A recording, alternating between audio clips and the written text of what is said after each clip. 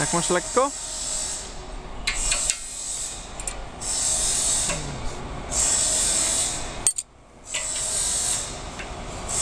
Jest dobrze? Tak. Dobra, to weź podnieś. I na dół. Nie wiem czy widać. Cholera tego nie będzie widać. Jeszcze raz. A muszę to im narysować. Dobra. Od przodu weź, a ja zamknę z boku. Już.